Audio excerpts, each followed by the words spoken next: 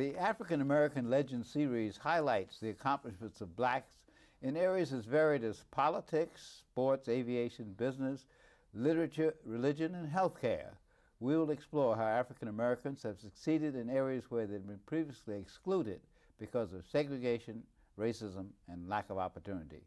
I'm your host, Dr. Roscoe C. Brown, Jr., and joining us on today's African American Legends is Debra Fraser-Howze, the President, Executive Officer, CEO of the National Black Leadership Commission on AIDS.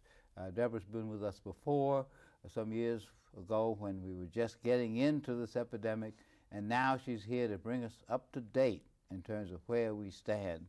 Uh, where do we stand now with regard to AIDS in the African American community? I know it's gotten more difficult than it was when you were here before. Well, Dr. Brown, I first want to start off by thanking you for, for your leadership and the leadership that you've shown at BLACA, mm -hmm. uh, the leadership you've shown as the new chair of our New York City mm -hmm. committee at BLACA, and as a founding vice chair mm -hmm. of, of the organization. So those accolades need to go out to you. It, without you and the board and the things that you did to set the pace mm-hmm. here in New York City, we will not be where, as far along as we are nationally.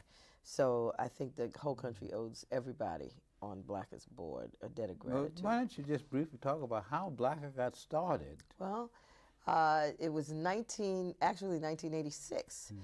Uh, I was at the Urban League at the right. time, and we were looking at this epidemic, and this epidemic was horrible. And I was actually running teen services and social welfare mm-hmm. at, at the Urban League and had a series of meetings with black leaders around teenage pregnancy and mm-hmm. and all of the kind of maladies that we that we were facing as a community.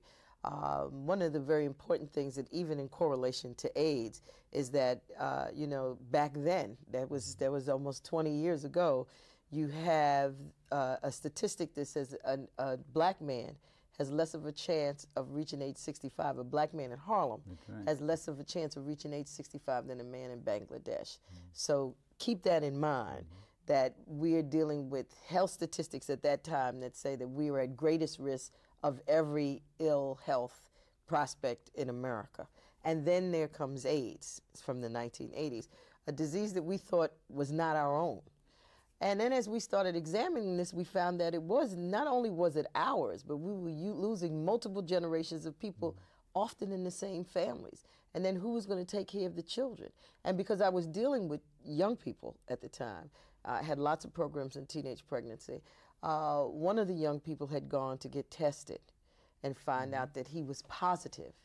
He was 19 years old. He had a two year old daughter, and he had another child from another young woman on the way. And I asked one of the directors, What does this mean? And she said, Well, it's possible that everybody's infected. And then I understood the domino effect that this epidemic was having on our community. I really understood it as a as a family multi generational disease, something that we had not seen or heard about before. And then the implications of that was so grand. And I understood then that we were going to have a, a state of emergency. So we called together 40 black leaders from all over the mm-hmm. city. We made sure we had clergy, social policy experts, the people who write the books, the people who we listen to, our greatest educators. You were called to uh, to the meeting. Reverend Calvin Butts, it's just uh, uh, uh, Assemblyman Al Vann, David Dinkins, who was mm-hmm. borough president at the time, was called to the meeting. Everybody was called to this meeting. Bill Lynch, his his his deputy, became deputy mayor after the mayor uh, became uh, mayor, and we had all these people and took them all away to a, a shaded place in in uh, in Glen Cove, New York, conference center, and and had them work, and I mean really work, really work to develop strategies that using their knowledge of community, because their knowledge is greater than the knowledge of anybody who looks into our community, the people who who who stand for the lives of the people in our community, and move us through. We asked for five recommendations. They came out with 52 and an agency. And it's been that way ever since. We've been founded since 1987. And we are now, where are we now? The, the Centers for Disease Control will be releasing a report on June 5th that says that uh, 20 years ago on this day, we released our first report to the country saying that 100 gay men had died from a strange pneumonia Mm-hmm. We did not know what it was. And 20 years now, here we are in the middle of what we know as the worldwide AIDS pandemic. How many uh, Americans have died in AIDS in this epidemic? More than 500,000. We've lost more Americans mm-hmm. to AIDS than have been lost in the Vietnam, Korean, and Gulf Wars combined. Mm-hmm. More, more than an act, more than any act of war now, in my lifetime. When the epidemic began, it was seen as a, an epidemic of uh, gay white men. Right. But now the worm is turned, as it were. Mm, Could you tell us about those stats? The, the, what's, what's actually happening uh, now, and, and, and some of the most shocking, is that one in every 50 African American men and one in every 160 African American women is HIV positive in America. Could you describe uh, for our viewers the difference between full-blown AIDS and HIV positive? Well, one becomes one becomes HIV positive the moment they're infected. That means that if you have unprotected sex and, and, and somebody has the virus and the virus gets into your system, you're infected. Or transmitted or by transmitted needle. by needle or any kind of uh, any kind of uh, blood transfusion, those kinds of things you're infected. Mother to child in utero, the, the, the mother is pregnant, the child picks up all the antibodies from the mother, the child comes out with the infection. Very oftentimes shaking that infection off when it when it boosts up its own immune system. Uh, but, but that is a tragedy, but there's a bigger tragedy here. The bigger tragedy is that we were infected all along. That the numbers that seem so alarming to us are not new. They're just numbers that seem bad because they've been so un, unattended and underreported for so many years. Right in this city, in New York City, the, the Black Leadership Commission on AIDS in 19, I think it was 91, 92, we went back and looked at some raw data. When they first decided, you know, they have these opportunistic infections. Mm-hmm. This is how they determine AIDS from HIV. Your HIV, you're infected. When you have full blown AIDS, it means that you've had a series of infections because it's not AIDS that makes you sick. AIDS is the virus that, that's the vessel for all of the other illnesses that, that come. And because your immune system has been compromised by the virus, you can catch a cold and die, mm-hmm. Which, which, which your immune system, someone else's immune system would automatically fight off. Do you remember they used to have these children in a bubble? Yeah. They used yeah. to have immune deficiency disease. Yeah, immune deficiency. and and the concern then would not was not was not so much that the child could transmit it to you, mm-hmm. but that your germs would kill the mm-hmm. child. Well, we have a situation now where this this germ has become transmittable you can trans that people can actually transmit it one to another through it, primarily what's going on now is sexual intercourse and the exchange of needles. So looking at these these these opportunistic infections, we now can see that they had a, a list of 20 and they added 21 and the 21st was cervical cancer for the first time the only thing a woman could get and we went back to look at the numbers since then and found out that the women the, the, the heterosexual transmission rate for women in this city in that year, once that definition was added, rose 185%. So we know from that data that women, particularly women of color, who make up, still make up 80% of all women infected with this virus uh, in the nation, were infected for decades. We've been infected as long as gay white men. Mm-hmm. The black community has been in this and has had problems with it for as long as any other community. We've just not had our epidemic responded to or reported to us in a way that we could understand that we were in the mix from the very beginning of the epidemic. Well, one of the main roles of the Black Leadership Commission in Aid was to provide education, to create awareness, because recall when this first started, many of the religious people didn't want to accept this because they didn't uh, agree with the sexual behavior, the drugs, etc. And they were saying it was a sin, sort of cast folk out. But then when the numbers became so great, uh, many of the religious leaders joined with us to help raise the level of education, awareness, etc. Mm-hmm. Now, where do we stand in the year 2001 in terms of AIDS in the African American community? We are in a state of emergency. We are 56% of all new infections. As I said, one in every 50 black men and one in every 160 black women is HIV positive. Every hour, seven people are newly infected with HIV, the virus that causes AIDS. Today, three of those seven in America are African American. Now, what about Latino? Latino, the, the Latino populations, as far as new infections for, from mm-hmm. HIV, their numbers are are at seven percent for new mm-hmm. infections, and and in the white community, those numbers have almost grounded to nothing. For new We for new infections, we are fifty six percent of all new infections. Uh, that that places us in a state of emergency because it is still combined as you remember, with the statistic that said a black man in Harlem had less of a chance of mm-hmm. reaching age 65 than a man in mm-hmm. Bangladesh, we have the highest rates of death from all mm-hmm. chronic illnesses in America, higher than all other minorities combined. It's uh, uh, heart failure, it's diabetes. Look at Alzheimer's in our community. For some reason, you know, it's just budgeting. Prostate cancer. Our men over 50 are dying in, in, in droves from pros- prostrate cancer. We have so many health maladies. And then to turn around and have AIDS on top of it, and then to have AIDS at this level on top of it, has placed us in a, in a state of emergency, which is why the Congressional Black Caucus uh, called on President Clinton to declare such an emergency, to have emergency funds put into the community so that we could have some culturally competent uh, uh, education models and we can address this epidemic like the gay white community was able to do and therefore has redu- have reduced their infections the way of course, the gay white community was almost directly related to their sexual practices, Mm-hmm. and they modified those practices, use of condoms, sex, safe sex, etc. In the African American community, it's for many different things. It's for many different things. heterosexual, gay activity, needle exchange, etc. Yes. Which then raises the question, which I'm sure a lot of folks are thinking about.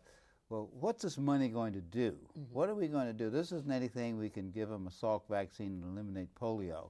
Uh, get people to eat Yeah, a low no. cholesterol diet and No, get rid of heart disease. This is a very complicated, socially interactive uh, epidemic. Now, what is the Black Leadership Commission on AIDS saying about how this money should be spent? Well, we're talking a, a lot of things, but but primarily the money has to go to develop community infrastructures. When you look around, uh, Dr. Mindy Fullilove does a very interesting study where she looks around in in in in our communities, in the inner cities, in the suburbs, in the rural communities, where there are large numbers of African Americans, no matter what our economic boon has been uh, in the last decade, our situation has not changed. We still are living in third world health conditions. And when you look at those numbers and in those communities and those kinds of conditions, you realize that the community lacks an infrastructure. So you can actually, if you were looking at our community from someone from the outside, you could throw any disease on top of that community and it would annihilate a large number of people. If there were infrastructures in that community, infrastructures to plan, infrastructures to research, infrastructures to distribute medicine, to give adequate care, those kinds of infrastructures to educate so that you can prevent. Those are the kinds of things that this money. Now, where does on. this infrastructure begin? I think I know something about what we've tried to do, but mm-hmm. could you tell us where this infrastructure begins? Where, when you go into our community, where do you want to begin? Well, one of the things you have to do is is make sure that everything that you're doing is based on data. You're mm-hmm. the best researcher I mm-hmm. know, so you- I, I, I know you embrace that. Uh, that none of your your your plans are based on assumptions. Mm-hmm. Everything is based on sound data and fact. And I don't think there's anywhere uh, in any community where we have more sound data than on the African American community because our health situation has been so drastic for so many years. So you have that the, the data driven program designs. Then you have to get the people who design programs to sit down and look at what has worked, what has not worked in this community and other communities. Then you have to bring that mm-hmm. community's leadership together because somebody has to give entree. Somebody has to tell you where everything is hidden, uh, what the norms and the cultures are. You know who's and, and and the people who are doing the research have to be have some have to be of that community. You you you have about seven variables in public health in standard American public health practices. And there's seven variables for community intervention for crisis and, and, and disease prevention, and and four of them center around community leadership. We have ignored that in our community for the last two decades. And that's why our AIDS epidemic, though it is not it is not Africa, because Africa has absolutely no infrastructure right now to mm-hmm. proceed with the now, care when of you its talk about infrastructure, that's a word we social scientists use. Yeah, it's a- What, what comprises an infrastructure? Well, what comprises the infrastructure? that You've got you've got people, resources, material, uh, money. uh, you know, bricks and mortar. There's a lot of things that comprise infrastructure. But for social infrastructures, uh, those kinds of infrastructures that that that are devoid of bricks and mortar. What you have is, uh, is generally, and, and what the Blackists try to set up, is a collective group of minds, almost a black think tank, if you would say, that center and deal with solely the issues of that one single community. Every time they come together, they come together with varied resources and backgrounds, but they come together to put all their resources, backgrounds, and knowledge base into this one infrastructural pool, which is going to deal with the survival of this one community. That kind of public health infrastructure is what's been missing in the black Now, what about organization? How do organizations fit into that? Well, organizations are critical and key. Uh, organizations inform the infrastructure. They have the infrastructure inform them. I mean, without the people who are doing hands-on work, who are getting the information directly from people with AIDS, who are understanding. I'll give you an example. Uh, uh, a while ago, we had a public policy i- issue, if you can remember, uh, at Black. This was many years ago uh, when Blacker was first starting, and we looked at the home health care industry. Uh, that's that's part of the public service industry of New York City, and we realized that for people with AIDS, they had a special division for AIDS, and for people with AIDS, they were sending home health care workers to deal with people who were ill, and that was fine then. But now, when you have a mother who is dying that has five children, this home care worker is assigned only to the mother. So the kids would be coming home from school, the mother's ill, so she can't fix a snack or lunch or dinner. And the healthcare worker was not allowed to deal with the kids. Mm-hmm.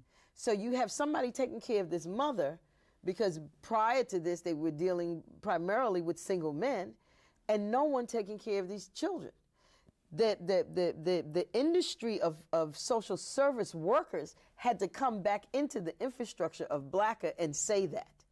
And then Blacker had to go about to help set out and change the policy to make that work. So that, that, that's how the interchange happens. Now, a good part of this has been the churches. That's been the bulwark of uh, Yeah. The development of black. Yeah, yes. Tell us how you use the churches to bring the other groups into this. The churches are the first point of access in our community. Every community we go, we have we have blackers in Hempstead, Newburgh, Syracuse, Rochester, Atlanta, Baltimore. Uh, we're doing Detroit, uh, Newark, New Jersey. Every city that we go into, the first group is a group of core clergy. That's the leadership clergy, the vanguard, if you would say. You know that Reverend Calvin Butts is the chair of our affiliate development. He goes into those cities with us to begin that process. And these uh, clergy come together and meet on a regular basis, uh, sometimes three, four times a week, just to put their heads together, get all of the information they need, understand our, our user friendly data reports. And I mean, they really get the crash course on AIDS and public health. And then they begin to put together lists of those key people in the area of media in the area of public policy. And that's public policy research and people who may work in government and in, in, the health department, those kinds of folks. Uh, the, the, the top people in medicine that they know that are black. Uh, other clergy leaders, uh, elected and appointed uh, uh, officials. And they, they begin to set an infrastructure layer by layer bringing on layer by layer, time at a time, to get the same information and say, okay, let's study all your resources and see what resources you bring to this table, this infrastructural table, so that we can respond on a dime when our community comes to us. And Blacker's role has been to help organize these and then to get the funding. What is the funding that comes from the state and local communities for AIDS do? What, uh, aside from organizational infrastructure, they provide some service. What are some of the, the direct kinds of service that they provide? They provide uh, services to women and children. Uh, they provide actual services and medication, uh, home care that we just we just talked about, direct care, hospital care, medical care. Uh, there's seven billion dollars in the in the ether in, in, in HIV and AIDS in, in, in the federal government. uh, the African American and Latino community only sees a sliver of that $7 billion. The majority of that money is in Medicaid. But the, but the bulk of that money that goes into the, the kinds of infrastructures we're talking about have been going so far to white communities. Mm-hmm. And because they were the beginning of the mm-hmm. epidemic, the first wave of the epidemic, the epidemic has changed. 56% of new infections, mm-hmm. one in every 50 man, one in every 160 women, and the dollars have remained there. What can we do to change that? Well, one of the things that we've done is, is, is with the leadership of Assemblyman Al Vann uh, um, and, and Roger Green and, and, and Arthur, we have moved folks um, in the New York State Assembly to accept a resolution to declare a state of emergency in the state of New York where African Americans and Latinos constitute 73% of all people infected with AIDS in, in, in Which should lead to uh, more funds directed into the African American community. And even which though it's then more, gets into the question of the people who have the funds don't want to give them up. How do you work that out? Well, it, from a public policy standpoint, mm-hmm. it, it is our it is our responsibility mm-hmm. and our role to create new resources. Mm-hmm. So going into to Congress and going into the New York State Legislature to create new resources was the primary goal. However, we cannot expect that with 56% of all new infections and 72% of the epidemic, that we can still allow the AIDS Institute, which is the chief funder of AIDS in, in, in the state, to give some 80% of all their grant funding to 13 organizations, seven of which, or nine of which, are the top organizations that were originally formed and mm-hmm. founded by the white gay community, and continue to allow that to happen while African American organizations crumble and the mm-hmm. community dies. That's just it is not it is not a sound fiscal public health practice. It has nothing to do with politics. You know, that's that's the one good thing about public health. You look at who's dying and you have a triage approach. Who can you save and how can you save them? And then you, you have a moral obligation based on the Hippocratic Oath to do so. And, and we can't get around that. So moving government to both create new funding and then to allow there to be some movement in funding that already exists. If you have no new infections or your new infection rate is at 10% and a community another community is at 56%, I would say that right now if that 56% community is only getting 1% of, of the of the dollars to do prevention efforts, it's time to at least ratchet that up to at least 25% to see what we can do to make a Well, difference. Black is organizing the Millennium Summit in June. Yes. I gather that one of the objectives of that is to develop a collective uh, energy, political force to move some of those funds. Yes. Now that means not only do you have to get the professionals involved in AIDS, but you got to get the person in the street, the average citizen. So how are we going to do that? Well, we're working on that hard now. It's that June 7th and 8th is the meeting of, of the millennium. Uh, it's going to be a milestone meeting for Black, I believe. It's going to, you know, we've been through a couple of transitions in, in Black as Growth. We've been to the through the transition of, of, of uh, to Pataki from Mario Cuomo. We've been from the transition to our David Dinkins, who's the chairman of the board of, of, of the National Black Leadership Commission on AIDS, uh, to, to uh, Mayor Giuliani. And we have seen um, a vast exodus and movement from our community in, in many cases, which we can't allow to happen. We can't be all right when some people are in power and then not all right when they're not in power, particularly when you're dealing with, with health issues. You have to be all right all the time. That's why uh, the infrastructure is so important, but that's why advocacy is equally important. So we're bringing together the top leaders in the United States, 50 top black leaders, the, the, the clergy, the civil rights leaders, and we want to make a civil rights movement out of what we are doing. And we're saying to the entire nation, this is where we are as a community. We need anybody who has any compassion, any care, any, any concern for the common good to take a look at this situation and help us say to the administration, we want fair and impartial treatment and it's the only way that we're going to bring survival to this community because we are in a state of emergency. We want, we want, we want President Bush to admit that. Well, a key part of this has to do with education related to safe sex Right. and to eliminating drug use, particularly intravenous drug use, Right. which gets us into the controversial issue of needle exchange and areas of that type. Now, I would have, would assume that with all these great leaders sitting at the table, um, those issues are going to be addressed. And They're the, have the to be. public needs to know about those. That's Right. one reason why we talk about this on African American legends, Mm-hmm. because basically, uh, black physicians, Charles Drew and Harold Freeman, Oh, yeah. have been uh, leaders in Yeah. terms of bringing issues to the larger community. Absolutely. And I think this is the role that Black Leadership Commission on AIDS has to play. Oh, absolutely. Now, and, and you talk about uh, the, the person on the street. Our job at this meeting is to not just give recommendations to the president, but to give recommendations to ourselves. Mm-hmm. And in those recommendations, they're going to be recommendations for the leadership. There's some responsibility the leadership mm-hmm. has to take and some actions they have to take to move us forward and protect us as, as a community and as a mm-hmm. people. There is a, a, a, a, a handing over, if, if I might use that term, of the passing of the baton.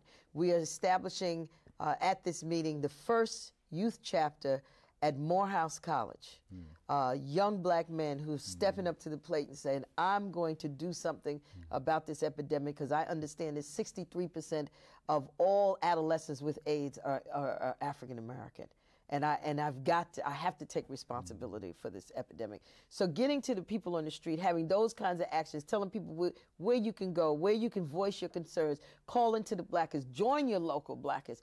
All of those messages are going to be out. And whatever comes out of these sessions in regard to those difficult issues like needle exchange, and we are we are supportive of needle exchange, mm-hmm. but we need to do it Right. with drug treatment on demand. Well, certainly there's a lot of work to be done.